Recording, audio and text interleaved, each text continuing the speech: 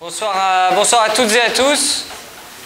Avant de, commencer de vous expliquer un peu ce qu'on fait, je vais vous passer une, courte vidéo pour que vous ayez quelques, images euh, pour commencer. C'est le, teaser du, film documentaire qu'on a, réalisé l'année dernière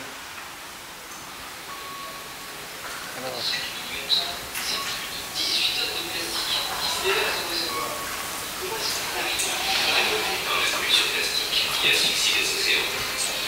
Je trouve ça d'imaginer la navire de laboratoire. On a amené le bateau pour pouvoir le mettre en chantier, le modifier et euh, bah, l'acheter. On l'a acheté aujourd'hui. Vous êtes pas censé remplacer le statut d'élève officier ou le statut d'armateur qui est responsable du bateau. Si on arrive à faire du plastique, on puisse le transformer, ou travailler comme on transforme le bois ou l'aluminium, on va pouvoir faire vivre des gens et éviter que ce plastique soit laissé sur la plage.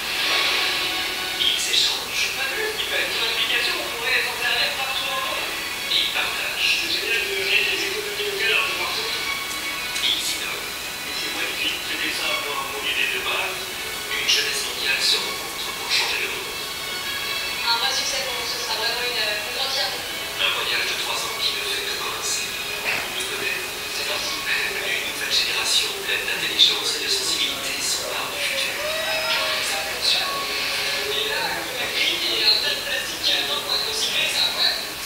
Création documentaire inédite.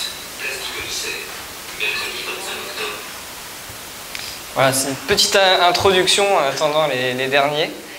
Euh, alors vous avez peut-être vu ce navire d'expédition qui se trouve euh, dans la baie un peu plus loin, qui fait 40 mètres et qui fait euh, le tour du monde depuis euh, un an et demi maintenant. Euh, alors c'est, je voulais juste rapidement vous expliquer d'où ça vient et, ensuite je vous raconterai ce qu'on fait. Alors cette idée, je la porte avec Alexandre qui est un copain de promo à, l'origine. On a fait l'école de la marine marchande et tout a commencé en, en 2016 quand je faisais escale à Dakar dans une des anses les plus polluées que j'ai découvert un peu tout le plastique qui se déversait dans l'océan. Donc on a eu envie de, lancer une expédition autour du monde pour tenter de trouver des solutions et de les partager un maximum faire en sorte d'éviter que le plastique se déverse dans l'océan. Et donc ça a commencé comme ça, on était encore étudiants avec euh, deux polos brodés, deux cartes de visite. Et on s'est dit, bon, avant de partir autour du monde et d'acheter un gros bateau, on, avait un, rêve un peu fou, mais on, avait, euh, on était jeunes, on n'avait d'expérience, on sortait de l'école de la marine marchande, donc on n'avait pas du tout de contact ou quoi que ce soit. On s'est dit, pour faire nos preuves, il faut qu'on on commence petit, donc on va construire un, petit bateau, on va faire un petit bateau démonstrateur, un- ambassadeur de solutions de recyclage. Et donc on nous a prêté, euh, on nous a donné même deux coques de Tornado, qui était un ancien euh, catamaran olympique, et qui traînait dans un hangar en Bretagne, euh, à la Trinité. Et, donc on a commencé comme ça, vraiment dans un garage avec euh, euh, deux coques. Et, donc voilà, ça c'était les tout premiers tests, ça devait être euh, début 2017 à, la forêt Fouenant. On était en train de tester notre futur ambassadeur, catamaran ambassadeur. Et donc ça ressemblait pas à grand chose. Très vite, on a réussi quand même à convaincre des gens, on était motivés, on a été voir à droite à gauche, on a trouvé des gens qui nous ont aidés à, construire une, euh, une pyrolyse, donc une machine qui peut transformer le plastique en carburant. Et l'idée, c'était de se dire, on va faire un bateau un peu comme dans Retour vers le futur. On va mettre des déchets dans un réservoir, on va le transformer en carburant, on va faire avancer le bateau avec. Et ça, ça va nous permettre de marquer les esprits, de pouvoir expliquer le projet qu'il y a derrière, qui est beaucoup plus ambitieux. Euh, mais ça va nous permettre d'accrocher un peu euh, et de pouvoir gagner l'écoute des gens. Ça a plutôt bien marché, puisque donc on a en, quelques on va dire ça nous a pris quand même un an et demi avant de trouver l'argent, fabriquer ce bateau. On a, fait un peu de récup. On a construit ça euh, chez Roland Jourdain à Concarneau. Et donc il y avait cette machine un peu folle qui permettait de transformer euh, le plastique en carburant, on peut, on peut le voir, qu'on avait conçu pour que ça soit quand même un peu pédagogique, donc on puisse suivre le parcours du plastique qui se transforme, voir les gouttes de carburant qui coulent, euh, et derrière le bateau avancer. Donc ça a été, euh, un, bon premier euh, projet, avant-projet. Et ça, ça nous a permis vraiment de décoller puisqu'on a fait un tour de France avec ce bateau qui paraissait quand même euh, très futuriste, qui était assez original. Et on a même fini sur le toit des Galeries Lafayette à Paris. On a gruté le bateau, on a fermé le boulevard Haussmann, on avait loué une grue. On l'a gruté à 30 mètres en haut des Galeries Lafayette. Il n'y avait pas eu de bateau, il y avait eu un avion 100 ans plus tôt qui s'était posé, mais là on, mettait un bateau euh, sur le, toit des Galeries Lafayette. Et à partir de là, les gens ont commencé à nous croire. Ils se sont dit, finalement, ces étudiants, là, euh, ces jeunes, euh, ils sont quand même sérieux, là, ils, font des trucs un peu quand même. c'est osé, on va peut-être quand même les, suivre. Et donc après ça, on avait quelques mécènes au début, mais on a réussi à se faire connaître, à trouver des sponsors un peu plus gros, des partenaires techniques, à construire une équipe de plus en plus solide, jusqu'à donc euh, acheter un vieux navire de commerce, un vieux navire de, recherche océanographique, le transformer, ça nous a quand même pris trois ans, en chantier pour en faire un vrai laboratoire euh, du recyclage et parcourir le monde à la recherche de solutions. Je vais vous expliquer plus en détail ce qu'on fait euh, exactement, mais avant ça, je voulais vous expliquer un peu plus en détail ce que c'est que la pollution plastique. Comment est-ce qu'on en est arrivé à choisir cet axe. Il y a plein d'axes hein, pour euh, lutter contre la pollution plastique. On peut euh, ramasser du plastique sur les plages, on peut faire du lobby, euh, on peut, on peut faire différentes actions. Nous, on a choisi un axe assez particulier. Et donc, je vais, je vais vous expliquer un petit peu la, la problématique pour que vous puissiez mieux comprendre. Alors déjà, on parle beaucoup, on parle de pollution plastique, mais on parle beaucoup de carbone et de changement climatique. Et donc, il y a un effet, il faut savoir que tout est lié. Il y a un effet qu'il faut garder en tête qui s'appelle l'effet tunnel, euh, qui a tendance à nous concentrer un peu sur une problématique qui est le carbone et à en oublier un peu les, autres problématiques euh, environnementales qu'il pourrait y avoir, euh, comme la perte de biodiversité, des, tas de problématiques finalement qui peuvent être aussi importantes et, impacter tout autant l'environnement. Donc ça c'est un diagramme que vous avez peut-être déjà vu qui représente les limites planétaires. Donc le, le cercle en pointillé, ça représente les limites planétaires et chaque secteur, euh, ça représente une limite qui, va être atteinte. On a, euh, a euh, l'acidification des océans, le changement climatique et récemment, il y a quelques années, ce que vous voyez en haut, Novel Entities, ça c'est les pollutions chimiques, dont la pollution plastique. On voit qu'on a largement dépassé le seuil critique, le, seuil planétaire, ce que la planète pouvait, la limite planétaire finalement. Donc ça c'est un peu un, résumé des différentes limites. Et, ce que je veux vous montrer, c'est que le changement climatique, évidemment c'est très important, mais il ne faut pas en oublier toutes les autres euh, composantes, dont la pollution plastique qui impacte directement euh, la biodiversité et la santé humaine. Alors, est-ce que vous avez une idée de la quantité de plastique qui se déverse toutes les minutes dans l'océan Ah, Il y a un piège. En fait, quand on a commencé, c'était. euh, les, études disaient à peu près 18 tonnes, 19 tonnes. Et en fait, les dernières études maintenant euh, parlent plutôt de 40 tonnes. Ça a doublé. Et les, estimations euh, sont plutôt de l'ordre exponentiel. Donc, on a plutôt tendance à montrer que ça va vraiment augmenter dans les années à venir si, si on fait rien. Donc, c'est assez difficile de se représenter ce que ça peut faire, 40 tonnes. Euh, parce que c'est vraiment là, depuis que j'ai commencé, on a déjà peut-être à plus de 40, peut-être 100 tonnes qui se sont euh, écoulées dans l'océan. Donc ça, c'est uniquement le plastique qui se déverse dans l'océan. Il y en a euh, beaucoup plus qui se déversent dans la nature et qui impactent euh, les terres. Ça, c'est uniquement le plastique qui arrive jusqu'à l'océan. Donc c'est une petite partie.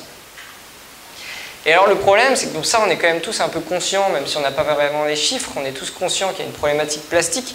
Mais le problème, c'est qu'il y a plein de fake news et on a plein d'idées reçues qui font qu'on ne sait plus trop par, où prendre le problème.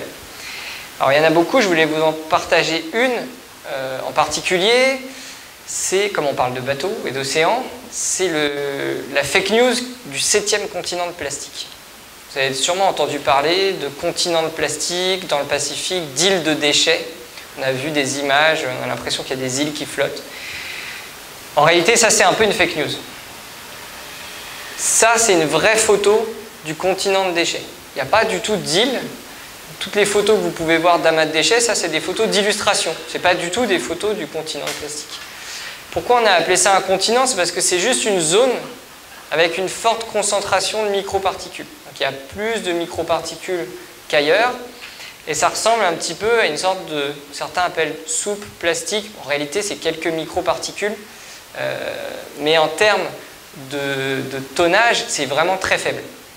Pour vous donner un chiffre, pour, pour mieux vous expliquer, si on ramasse la totalité de cette zone, qui est grande comme l'Europe, on a la même chose, la même quantité de plastique que ce qui se déverse tous les trois jours dans l'océan. Donc, nettoyer le continent de plastique, si c'était possible, mais c'est quand même très compliqué, ça revient à fermer le robinet de la pollution pendant trois jours. Pour vous donner un peu euh, une idée de ce que c'est, euh, que la problématique est quand même plus complexe. Pourquoi? Parce qu'en fait, le plastique flotte pas. Et c'est d'ailleurs ce que les scientifiques appellent euh, toujours le mystère plastique. Le mystère plastique, c'est que quand on calcule la pollution qu'il y a dans l'océan et qu'on regarde ce qu'il y a à la surface, on retrouve moins d'un pour cent de ce qu'on a mis dans l'océan. Donc en fait, il n'y a quasiment rien à la surface. Et le problème, c'est qu'on ne sait pas vraiment où est passée cette pollution. Alors maintenant, on commence à, se rendre compte qu'il est quand même au fond de l'eau à 95%, euh, parce qu'il coule. En fait, naturellement, la majorité des plastiques coulent.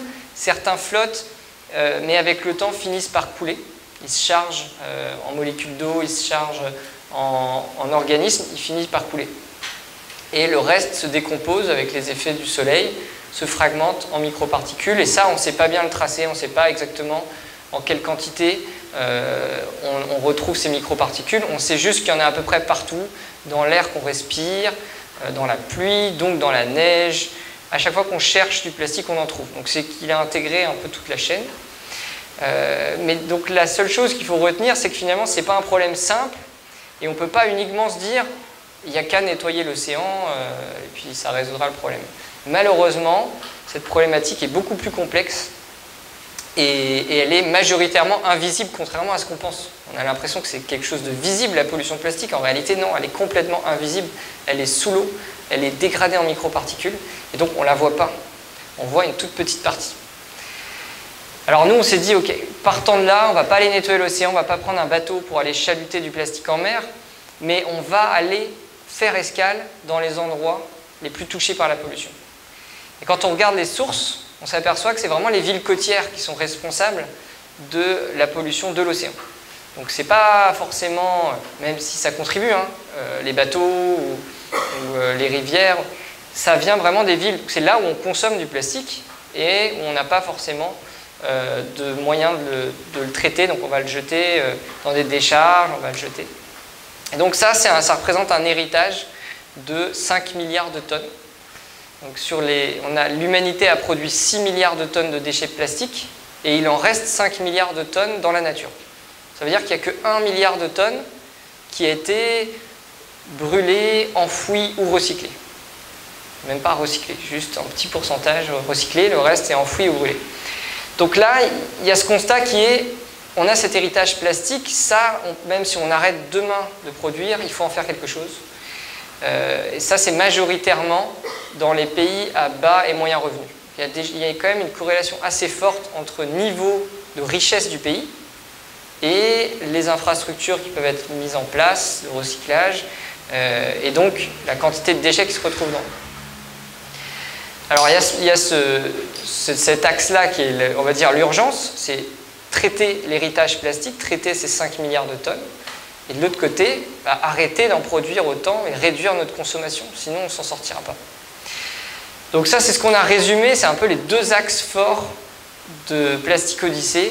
On est un peu schizophrène. D'un côté, on s'intéresse à comment recycler, comment faire en sorte que ce plastique, on puisse en faire quelque chose d'incroyable. Et de l'autre côté, on s'intéresse à comment est-ce qu'on arrête le plastique, comment est-ce qu'on montre qu'il faut arrêter d'utiliser du plastique, parce que c'est pas quelque chose de formidable. Donc ça, on a essayé de le résumer un peu dans notre slogan, en disant, bah, on va d'un côté recycler les déchets du passé, et de l'autre côté, construire un avenir euh, sans plastique, en tout cas sans plastique à usage unique, inutile. Ces actions-là, elles se retrouvent donc embarquées sur ce navire d'expédition qui fait 40 mètres. On est une vingtaine de- de- d'explorateurs à bord du, bateau, euh, avec des profils vraiment très variés, des marins, des ingénieurs, des ingénieurs plutôt orientés euh, euh, business, je vais vous expliquer d'ailleurs euh, pourquoi. Et donc ce, ce bateau, il est un peu séparé en deux zones. Une zone à l'arrière qui est l'atelier de recyclage. C'est là où on travaille sur vraiment nettoyer les déchets du passé. Et l'avant du bateau qui s'intéresse à la réduction. Donc la vie à bord, on essaye de vivre sans utiliser de plastique. On est nos propres cobayes, on teste des solutions et on essaye d'en découvrir euh, aussi des nouvelles. Comme je vous disais, on est parti en octobre, en octobre 2022 de Marseille. On a fait le tour de la Méditerranée, Liban, Égypte, Tunisie, Maroc. On est descendu en Afrique euh, de l'Ouest, Sénégal, Guinée, Cap-Vert. On a traversé, on est remonté depuis le Brésil, on est remonté l'Amérique du Sud jusqu'aux Caraïbes, République dominicaine. On, a fait une escale qui n'est pas sur la carte en Colombie. Ensuite, on a passé le canal de Panama. On est descendu en Équateur et on a traversé au début d'année euh, le Pacifique pour venir euh, euh, donc en Polynésie et derrière continuer en Asie du Sud-Est qui va être vraiment le gros de l'expédition parce que c'est là où il y a le plus de plastique qui est généré. Alors je voulais vous expliquer un peu ces deux volets, comment est-ce qu'on attaque le recyclage du plastique et euh, la réduction? Alors le recyclage, qu'on a appelé Clean Up the Past, on s'est dit, puisque ces déchets plastiques sont majoritairement dans des pays à bas revenus, euh, où les problématiques des locaux en général ne sont pas forcément euh, se lever le matin pour ramasser du plastique, mais plutôt juste se nourrir, avoir un revenu, en vivre. On s'est dit le seul moyen efficace, c'est de trouver des solutions pour que ce plastique il puisse générer du revenu, que ce plastique puisse faire vivre des gens. À partir de là, si on arrive à trouver un moyen, faire en sorte que ce plastique-là devienne quelque chose d'utile, qu'il ait de la valeur, les gens vont commencer à le ramasser et il ne sera plus laissé par terre. Ça, c'est le challenge, qui est quand même très compliqué. Si c'était le cas, euh, si c'était facile, ce ne serait pas par terre. Donc tout le challenge, c'est d'arriver à trouver des techniques simples, low-tech, faciles à des machines qui sont faciles à réparer, qui sont faciles à construire, pour transformer un truc qui n'a pas de valeur en quelque chose qui a de la valeur. Et si possible, si possible, il faut que ça ne redevienne pas un déchet et que ça ne crée pas d'autres problèmes. Donc c'est quand même un sacré challenge. Je vais vous montrer quelques exemples pour montrer ce, qui est, euh, sur, ce quoi on travaille. Euh, alors par exemple, on peut faire des pavés. À partir du, déchet plastique, on peut faire des pavés pour les trottoirs et pour les routes. Ça, c'est ce qu'on fait beaucoup en Afrique, notamment. Donc ça, par exemple, c'est euh, une usine à Conakry qui, euh, il faut savoir que même dans la capitale, c'est de la terre, euh, de la terre battue au sol. Et donc, comme il fait chaud, c'est très sec, ça crée des nuages de poussière. Et donc, la municipalité est obligée d'arroser la route avec de l'eau potable, déjà pas beaucoup d'eau, pour stabiliser le sol et éviter que ça fasse des nuages de poussière. Donc déjà, ça fait de la boue partout dans la ville, et en plus de ça, ça consomme de l'eau. Donc, ça, c'est une bonne, une bonne euh, manière, en tout cas, il y a vraiment un besoin de pavés. Donc, si on peut faire ces pavés à partir de plastique euh, recyclé, bah, ça nous permet de stocker ces déchets et en plus de résoudre une problématique. Un autre exemple, c'est qu'on peut faire des tuiles pour les maisons. Différentes formes. Là, c'est des, formes de tuiles euh, particulières qu'on peut voir dans certaines, dans certaines régions. Euh, mais l'idée est la même. Des tuiles qui, en plus, permettent d'isoler les maisons, bien plus que de la tôle, qui n'isole pas du tout, la, tôle en métal. Donc là, on arrive aussi, pareil, à résoudre une problématique dans beaucoup de pays où il fait trop chaud, où on, vit dehors parce qu'il fait trop chaud euh, la journée dans la maison. Donc là, pareil, on, peut, en recyclant des déchets, résoudre une problématique aussi locale, être plus performant que euh, des toits en tôle. Une autre, euh, une autre solution qu'on a, là pour le coup, on a testé, c'est plutôt de la R&D, c'est au Sénégal.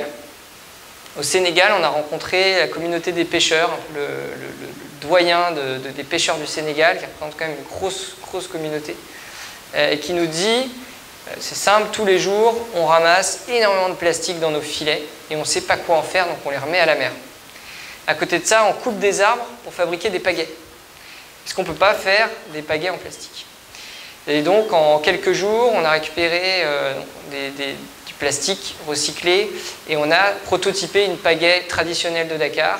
Et on est parti la tester euh, avec des pêcheurs sur une pirogue. C'était encore un peu lourd, il y a du travail encore, mais ça permet de vraiment trouver un débouché au plastique. Pourquoi pas derrière même construire des morceaux de pirogue euh, à partir de ces déchets. C'est un, bon exemple qui est plutôt au stade de- du prototype, de l'idée, mais qui pourrait euh, derrière se répliquer. Un- une autre solution, c'est du tuyau. Il y en a un morceau ici. Du tuyau qui permet par exemple d'acheminer des eaux usées. Souvent quand il y a un problème de plastique, il y a aussi un problème de gestion des eaux usées. Donc là pareil, faire des tuyaux de canalisation en plastique recyclé, ça permet aussi de euh, résoudre une problématique. Ensuite, euh, ce qui se fait la majorité du cas, qui est vraiment le plus simple, donc ça c'est ce qu'on fait la plupart du temps, c'est des planches. On fait juste des planches qui remplacent le bois. Donc là, on peut imaginer tout un panel de solutions. Donc ça va de la, palette de transport. Évidemment, ça pourrit pas, donc c'est quand même plus, ça dure beaucoup plus longtemps de faire des planches euh, en plastique recyclé. On a, euh, on a testé des, ça c'est une jardinière par exemple en, plastique recyclé, un support de ruche, support de ruche qui pourrissait. On nous a demandé de tester aussi de fabriquer des supports de ruche en plastique recyclé. Euh, et alors quelque chose qu'on a découvert, c'est pour ça qu'on a détourné le bateau pour partir en Colombie, c'est qu'on a découvert aussi des entrepreneurs qui fabriquaient des maisons, donc qui allaient de la collecte de déchets à Bogota jusqu'à la fabrication de maisons. Ils avaient leur propre menuisier et ils fabriquaient des maisons comme ça. Il faut se rendre compte que c'est des maisons sur deux étages qui sont euh, tout à fait euh, tout fait solide. On a passé deux jours là-dedans. C'était assez incroyable de voir que chaque élément de la maison, la cuisine, les placards, l'escalier, le parquet, tout était fait avec ces planches de plastique, différentes formes, euh, qui permettaient donc de, de fabriquer cette maison. Alors l'idée à chaque fois sur ce navire, c'est de partir explorer ce qui existe déjà.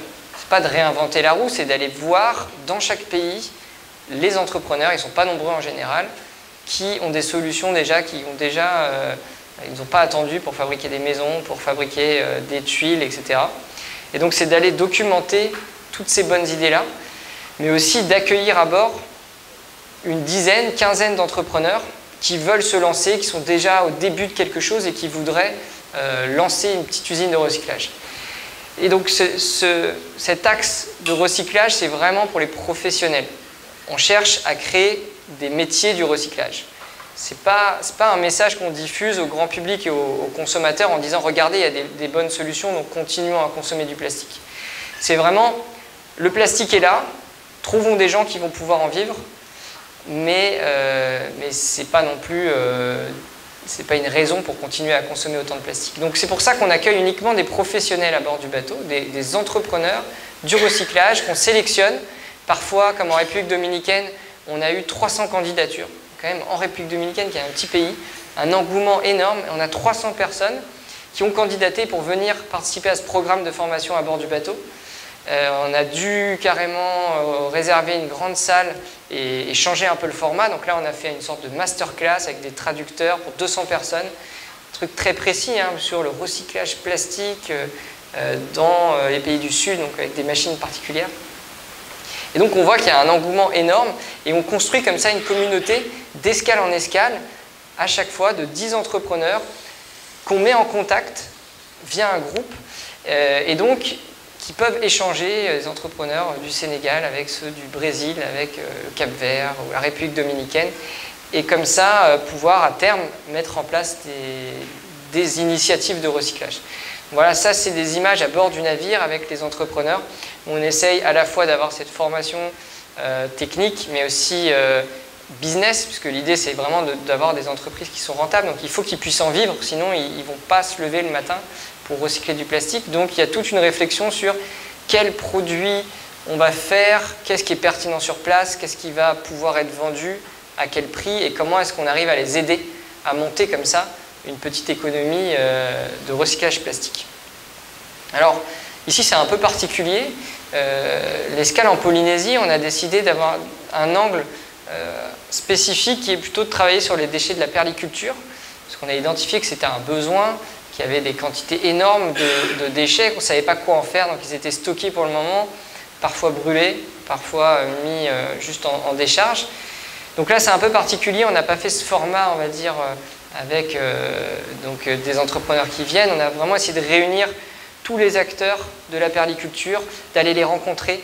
On a fait une escale à Hao, on a fait une escale à Pataki, euh, au Gambier. On a rencontré les perliculteurs, on a récupéré des échantillons, ça c'est des grillages pour les, les huîtres. Euh, et là, on a vraiment été jusqu'au prototypage. Donc, on se sert aussi du bateau comme un atelier de recherche où on a concrètement, on a pris des collecteurs, on a pris des grillages euh, et on a regardé comment on pouvait les recycler, quels étaient les challenges, comment est-ce qu'on arrivait à les broyer, c'est pas facile, comment est-ce qu'on arrivait à les faire fondre? On a quand même fait euh, le premier banc de Polynésie, le premier banc au monde peut-être à partir de déchets de la perliculture. Donc ça, c'est un banc qui a été fabriqué avec les grillages on a fait des planches. On les a assemblées, c'était à Apataki. On a fait nos planches sur le bateau, on les a amenées euh, chez une personne qui avait un atelier un peu de menuiserie, on a construit le banc. Et donc c'est une bonne preuve de concept, mais évidemment l'idée c'est pas de s'arrêter là, c'est de pouvoir à terme avoir peut-être une usine euh, ici qui pourrait transformer ces déchets, faire des planches qui serviraient à construire par exemple des fermes euh, perlicoles ou autres. Et, donc pour faciliter tout ça, on a commencé à développer des concepts de micro-usines, donc dans des containers simples, justement adaptés à des, zones euh, moins accessibles, où on va pouvoir, avec un container, déployer une micro-usine de recyclage, donc avec un broyeur qui va broyer les déchets, une extrudeuse euh, qui fait fondre le plastique. Là, on voit tous les copeaux de plastique qui ont été broyés dans un premier temps. On va mettre donc, dans cette extrudeuse, on va en faire une pâte donc ça reste des, des, process, des systèmes qui sont assez... Il euh, n'y euh, a, pas beaucoup d'automatisme, ça reste un, travail où il y a pas mal de tâches manuelles, euh, mais ça permet justement d'avoir des systèmes qui sont peu coûteux, qui sont simples à entretenir, avec peu de pièces compliquées. Et donc ça, par exemple, c'est un, conteneur qui fait des pavés.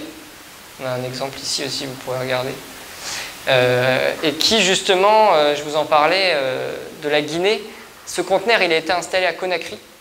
Et c'est Mariam, qui est une des premières entrepreneurs avec qui on travaille, qui a une dizaine de salariés, qui fait tourner cette usine, qui a une capacité environ de 100 tonnes par an. Euh, la particularité, c'est qu'avant, Mariam, elle faisait déjà ça, mais elle faisait ça avec une marmite. Donc elle prenait une marmite, elle mettait le plastique, elle mettait le feu. Et donc forcément, ça brûlait, euh, elle s'intoxiquait, enfin, c'était vraiment pas terrible. Donc, euh, donc là, maintenant, elle a un système avec des machines semi-industrielles qui permettent de ne pas avoir de fumée toxique, d'avoir du plastique qui n'a pas été brûlé, donc il va tenir dans le temps, et de transformer les pavés un peu rustiques euh, dans ces, pavés que vous pourrez regarder qui sont quand même euh, très, très propres. Donc ça, c'est l'exemple de micro-usine.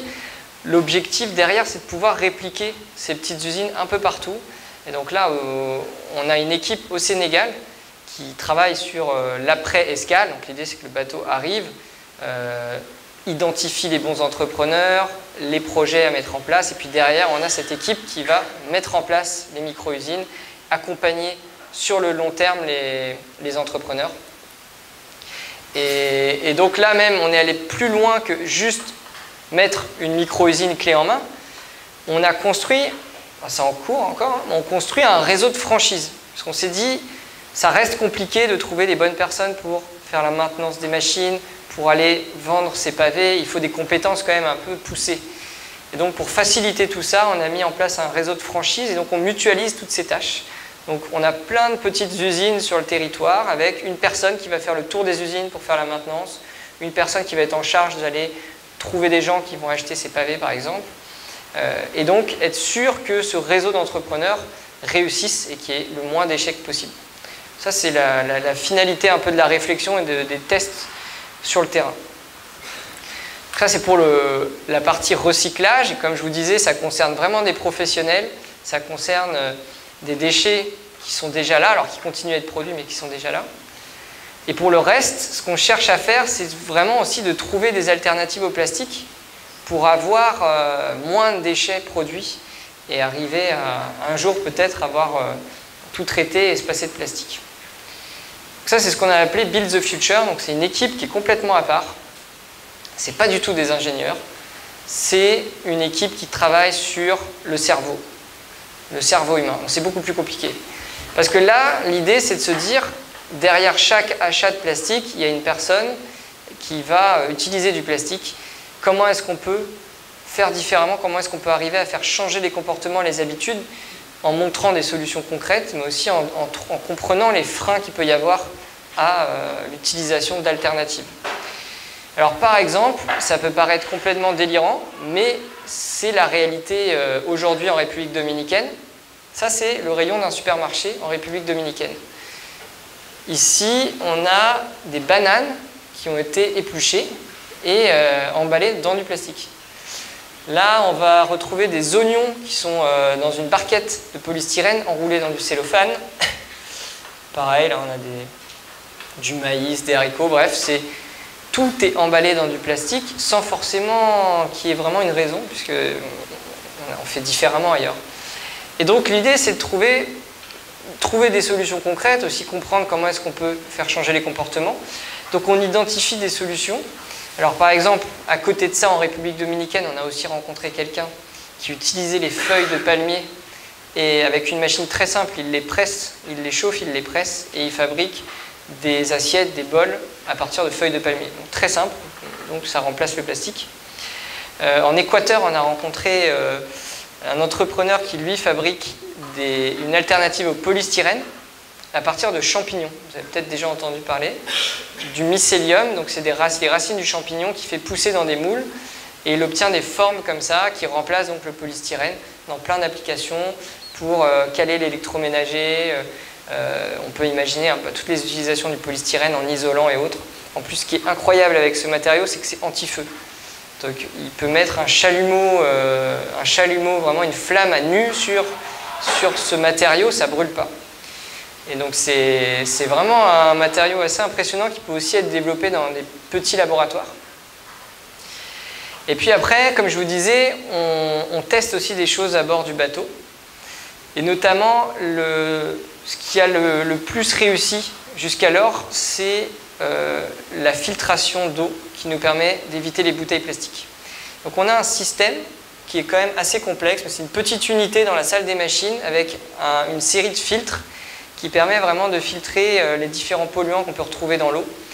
Euh, parce qu'il faut savoir, on peut dessaler l'eau de mer, mais comme on est souvent à quai, il faut qu'on fasse le plein du bateau, et donc on fait le plein avec l'eau de la ville, avec l'eau du réseau.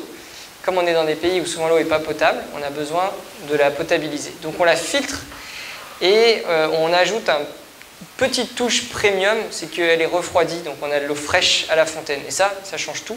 Parce que entre se servir au robinet de l'eau tiède et se servir dans une fontaine comme ça, ben, ça change la perception de l'eau qu'on boit. Et donc ça incite beaucoup plus à boire l'eau finalement du robinet et à éviter les bouteilles. Ça, ça nous a permis d'économiser 14 000 bouteilles d'eau en un an et demi à juste 20 personnes. Donc la quantité de plastique qu'on a évité, elle est, monstrueuse et puis c'est vachement plus euh, déjà confortable, pratique. Il faut savoir que quand on boit de l'eau en bouteille, on boit énormément de particules de plastique, de nanoparticules, énormément. Donc ça nous évite ça aussi. Et ça nous permet de sensibiliser euh, aussi même les décideurs. On a, euh, on a eu le cas de la ministre tunisienne qui est venue à bord du bateau, euh, à qui on a servi un verre d'eau et qui nous a dit Waouh, cette eau est incroyable, elle est super bonne, elle a bon goût, parce que comme elle n'est pas traitée au chlore, elle a vraiment un bon goût. Euh, et on lui a dit bah, En fait, c'est l'eau de votre ville. C'est l'eau de Bizerte que vous êtes en train de boire. Elle n'avait jamais bu l'eau de sa ville. Et, donc ça, ça, montre à quel point, avec des solutions qui sont assez simples, on peut vraiment réussir à faire changer les comportements. Cette solution, on l'a vu se répliquer par exemple en Guadeloupe. En Guadeloupe, il y a un entrepreneur qui a monté une, petite euh, fontaine avec un système de filtration de l'eau. Donc là, pareil, il, vend de l'eau euh, potable donc en vrac, mais beaucoup moins cher que l'eau en bouteille.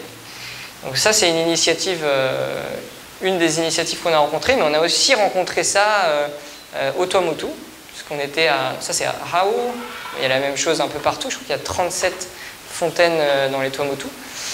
Et alors là, c'est intéressant parce que c'est quand même le même système, c'est de l'eau qui est filtrée, qu'on peut acheter avec une carte, qui coûte trois fois moins cher que l'eau en bouteille.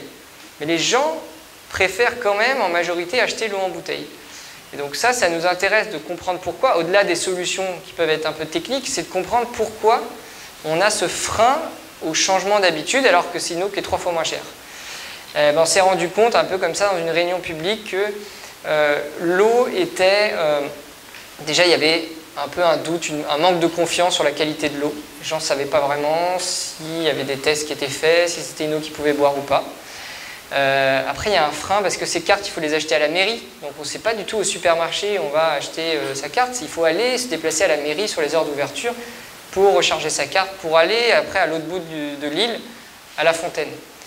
Donc déjà, euh, c'est quand même un, gros frein. Les touristes n'étaient pas du tout au courant que cette fontaine existait, donc ils achetaient des bouteilles alors qu'ils auraient préféré acheter, euh, remplir les gourdes. Euh, et puis, ça c'est un peu le dernier frein qu'on a identifié, c'est le manque de contenant. Les gens nous disaient, oui mais en fait on n'a pas de contenant, donc on remplit les bouteilles plastiques, donc ça n'a pas de sens. Donc bon, certains remplissaient des bouteilles de vin vides, mais il n'y avait pas de solution vraiment sur l'île euh, qui faisait que ces fontaines, c'est super, mais elles n'étaient pas utilisées. Donc ça, c'est typiquement un des projets sur lequel on travaille en changement de comportement pour essayer de comprendre qu'est-ce qu'on doit mettre en place dans un cas comme ça à Rangiroa euh, pour que ces fontaines qui sont déjà là soient utilisées, qu'on arrête les bouteilles. Il faut savoir qu'en Polynésie, les bouteilles plastiques, c'est quand même le déchet qu'on retrouve le plus. Euh, et donc, si on veut réduire la pollution plastique, c'est vraiment là-dessus qu'il faut jouer.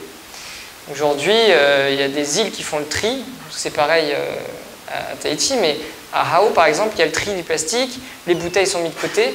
Mais ensuite, tout est mis à la décharge et tout est brûlé. Donc, euh, c'est pas du tout euh, une solution. Et alors qu'à côté de ça, il y a cette petite fontaine qui permettrait juste de, de boire de l'eau sans plastique. Donc ça, c'est vraiment le deuxième volet sur lequel on travaille, sur la, la- réduction du plastique, le changement de comportement qui est quand même très complexe. Alors on a un volet pédagogique important, on travaille aussi avec les plus jeunes. Euh, et donc les visites du bateau souvent on- sont réservées hein, aux classes euh, qui, viennent, euh, qui viennent à bord du bateau et, et qui, qui découvrent un peu toutes ces solutions pour vivre sans plastique. C'est intéressant parce que souvent on dit qu'un enfant sensibilise 6 à 7 adultes. Euh, et donc, euh, on a vraiment un, super retour avec des classes qui peuvent même nous suivre sur, euh, sur toute l'année, monter des programmes. On a, là, depuis le début de l'expédition, on a des classes en Tunisie, au Sénégal, au Liban, qui ont même monté des projets, qui ont fait interdire le plastique à l'école, qui ont monté des projets d'archéologie pour aller comprendre quels déchets dans les poubelles ils retrouvaient, comment est-ce qu'ils pouvaient arrêter d'utiliser ces plastiques. Donc ça, il y a vraiment un impact qui est quand même hyper intéressant euh, en termes de réduction, en termes de sensibilisation quand on s'intéresse, quand on travaille avec, euh, avec les plus jeunes. Ça, c'est- ça fait partie vraiment intégrante de, ce programme de réduction. Et puis on a un dernier volet dont je voulais vous parler, qui est un peu en dehors euh, de ce qu'on fait d'habitude. On a commencé à mettre en place parce qu'on s'est rendu compte qu'il y avait des zones sur Terre. On a beau recycler le plastique, euh, réduire l'utilisation, il y a des endroits où on ne peut rien faire parce que c'est des endroits qui sont inaccessibles. C'est des îles désertes euh, qui sont pourtant pas inhabitées puisqu'il y a énormément d'animaux, d'oiseaux. Et donc, c'est des endroits sur Terre qu'il faut restaurer. Il n'y a pas d'autre choix d'y aller et de le nettoyer. Et c'est le cas de l'île euh, Henderson dans le Pacifique, qui est à peu près euh, deux à trois jours de navigation de Mangareva, des Gambiers. Donc quand même un peu perdu hein, au milieu du, du Pacifique, au cœur des courants marins. Ce qui fait que c'est une île qui est complètement recouverte de plastique et qui a été qui a été un peu identifiée par les scientifiques comme l'île la plus polluée au monde. C'est l'endroit sur Terre la plus polluée au monde en termes de densité de plastique. Donc il y a des études qui ont été faites, qui ont compté des morceaux de plastique sur cette île, qui se sont rendus compte que c'est l'île la plus polluée au monde, alors que c'est une des, un des patrimoines mondiaux de l'UNESCO, une des, rares encore réserves de biodiversité sur Terre. Donc assez, euh, assez dingue. Et donc il y a une expédition il y a 5 ans qui a tenté de ramasser, qui a tenté de collecter ce plastique, mais évidemment comme c'est des zones qui sont très complexes, très reculées, déjà c'est difficile d'accès. Et derrière, pour extraire ces plastiques, donc ils ont collecté 6 tonnes quand même, mais ils n'ont jamais réussi à faire passer un seul sac de déchets à cause de la barrière de corail qui est euh, très difficile à franchir, surtout, euh, surtout par mauvais temps. Voilà, là ils ont essayé, ils se sont retournés. Et donc ça, ça date de 2019. Et nous, on n'avait pas encore acheté le bateau, mais on avait vu, on avait entendu parler de cette île et on s'est dit un jour, on passera pas loin. Il faudra qu'on s'arrête, faire quelque chose. Euh, et donc c'est ce qu'on a fait. Avant de venir ici, on s'est arrêté euh, pendant 10 jours sur, sur cette île. Ça a été quand même un travail très long parce qu'il a fallu comprendre quelles solutions, et c'est là que ça nous intéressait, c'est quelles innovations mettre en place pour aller extraire ces déchets pour restaurer ce, milieu euh, naturel. Donc on est arrivé en, février, on a découvert la plage qui, même si elle avait été nettoyée, même si les 6 tonnes de plastique avaient été enlevées, en 5 ans, il y avait encore 3 tonnes qui étaient échouées sur la plage. Vous voyez que la, vie avait euh, repris ses droits et qu'à côté, effectivement, euh, c'est une richesse de biodiversité avec des oiseaux endémiques. Là, c'est des perruches euh, endémiques d'Henderson, le, pigeon d'Henderson, le fou masqué. Donc c'est vraiment un, endroit assez impressionnant parce qu'il y a très peu d'humains qui ont mis les pieds, donc on a vraiment cette interaction directe avec ces, animaux qui peuvent mesurer, euh, cet oiseau il mesure à peu près ça. Donc c'est assez impressionnant de voir à quel point il y a toute cette vie qui cohabite avec les déchets qui poussent euh, les cordages. Et donc euh, ben, on a commencé à se mettre au boulot, on était euh, une dizaine d'aventuriers à, partir sur cette île. Donc on a déjà commencé à, collecter, à, ramasser, à remettre tous les, anciens sacs qui avaient été complètement euh, détruits par les, par les UV. Et, et donc ils commençaient vraiment à partir en lambeaux. Alors ça c'était assez impressionnant parce qu'on s'est retrouvé avec des miettes de plastique qui commençaient à se dégrader partout. Et c'est pour ça que c'est important d'aller dans ces zones pour ramasser le plastique, même s'il y en a qui s'échouent de nouveau. C'est que le plastique, si on fait rien, il se dégrade et ensuite c'est impossible. Il va complètement se fragmenter en petits morceaux et on ne pourra plus rien faire. Donc ça, on l'a vraiment, euh, vraiment remarqué en étant sur place. On a vu euh, ces déchets sous forme de petites particules qui commençaient à se dégrader, à se dégrader. Et puis il y en avait qui étaient un peu plus compliqués à sortir. Il y avait des DCP, beaucoup de, de dispositifs de concentration de poissons, beaucoup de déchets de la, pêche finalement sur cette île. Euh, donc ça, pareil, c'est quand même euh, assez, euh, assez physique d'aller extraire ces déchets. Ensuite, de transférer les sacs. Donc il a fallu innover un peu avec des sortes de, de radeaux flottants pour juste faire bouger les sacs d'un bout à l'autre de la plage. Alors ça, c'était la première étape, mais ça ne nous, permettait toujours pas de traverser la barrière de corail. Et donc après, on a regroupé un peu tous les déchets euh, dans un endroit. On a trouvé une passe qui était quand même trop petite pour pouvoir vraiment y aller en bateau. Et donc on a testé trois solutions. Alors la première, c'était toute simple, c'est un, ponton flottant avec très peu de tirants d'eau qui permettait de passer quand même au-dessus de la barrière de corail quand la météo était belle. Donc ça, on l'a fait vraiment avec euh, un truc très simple qui est utilisé pour les marinas, pour les pontons d'habitude. Ça nous a permis quand même d'extraire un certain nombre de, big bags qui font en- environ 150 kg chacun. Donc ça, ça- va quand même assez vite. Ensuite, on a testé euh, une technique très simple qui a super bien marché. C'est qu'il y avait 1500 bouées de pêche sur cette île. Ça représentait 2 tonnes. On les a attachées les unes aux autres. On a fait une guirlande géante. Et en tirant avec un bateau, on a réussi à passer à travers la barrière de corail. Ça donne des photos qui sont, euh, qui sont assez belles de cette guirlande de bouées tractée par le bateau qui se retrouve comme ça euh, derrière la barrière de corail, donc euh, en pleine mer. Et donc on a eu l'aide d'un- navire, le navire ravitailleur de Pitcairn, qui passait par là, qui nous avait évacué une partie des déchets, parce qu'on n'avait pas beaucoup de place non plus sur le bateau, donc ça nous a bien aidé. Et donc il a pu gruter comme ça, débouer les premiers big bags qu'on avait extraits. Et puis restait quand même un défi majeur, c'est que vous avez vu quand même, quand la météo se lève sur Henderson, il y a des vagues, euh, le récif est apparent, et donc on ne peut pas vraiment passer avec une plateforme, on ne peut pas vraiment faire grand-chose. Donc on avait réfléchi pendant euh, six mois à une technique pour passer cette barrière de corail par mauvais temps. Et donc on a pu la tester euh, un jour où on a eu une météo assez mauvaise. Heureusement, on a eu de la chance, il faisait quand même assez beau, mais on a eu une journée comme ça. La technique, ça a été d'utiliser un parachute, un parachute ascensionnel. L'idée, elle pouvait paraître un peu folle, mais ce qu'on a fait, le plan, c'était d'avoir le bateau qui était à la dérive euh, de l'autre côté de la barrière de corail, d'avoir euh, le parachute sur la plage et de pouvoir le remorquer pour pouvoir faire voler les déchets au-dessus de la barrière.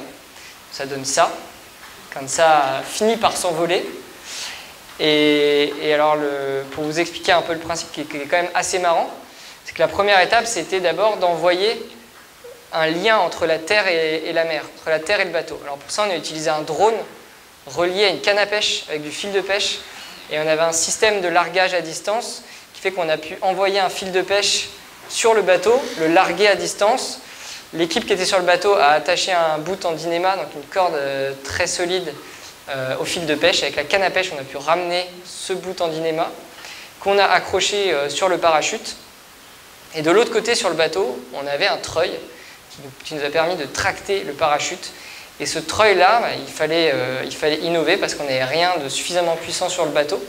Et donc, ce qu'on a fait, c'est qu'on a acheté une vieille moto en Équateur et on a fabriqué un treuil. On a enlevé la roue arrière et on a remplacé la roue arrière par un, par un touret.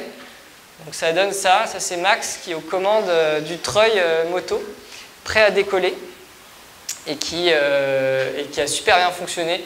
Je vais vous passer une petite vidéo après pour, que vous ayez les images. Ça c'est la, la plage après 8 jours et 9 tonnes de plastique extrait et, et recyclé. Je vais vous passer la petite vidéo.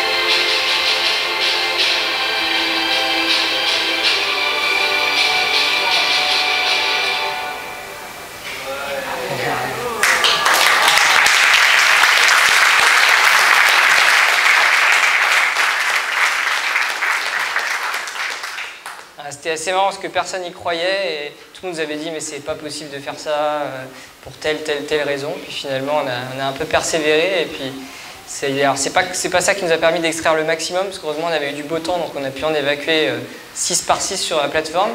Mais euh, concrètement ça, ça peut être répliqué dans des îles qui sont, qui sont vraiment euh, inaccessibles. On en a vu une au Cap Vert, une île déserte, il n'y avait aucune solution. Donc je pense qu'on va y retourner avec, avec le parachute et, et d'autres solutions quand on, on reviendra et on repassera par là-bas. Et puis ça nous a aussi permis d'aller jusqu'au bout parce qu'on a pu pour la première fois utiliser notre navire, notre atelier de recyclage pour, en, vraiment en production. Et donc on a recyclé quand même 2 tonnes de plastique rigide pour en faire du mobilier pour Pitcairn. Et notamment on a fait une chaise géante, plus symbolique, c'était plus une, attraction touristique j'espère maintenant pour Pitcairn avec tous les touristes qui passent en, en bateau pour se rappeler un peu de la quantité de déchets qu'on a, qui a été échoué sur Anderson et qu'on a, recyclé. Puis toutes les photos que je vous ai montrées avant de la jardinière, de la ruche, euh, on a fait un banc, tout ça on l'a fait avec les habitants de Pitcairn et qui avaient déjà d'ailleurs un, gros broyeur sur l'île. Et, donc peut-être qu'à terme il y aura aussi un petit centre de recyclage pour continuer à aller nettoyer ces îles éloignées euh, et recycler le plastique. Donc c'est un dernier volet qui commence à naître chez Plastic Odyssey, ou peut-être on ira faire quelques expéditions dans des endroits euh, isolés, Clipperton, qui est connu aussi pour avoir 30 tonnes de déchets, des îles comme ça inaccessibles, où il faut un peu innover euh, pour aller euh, les restaurer. Voilà, merci.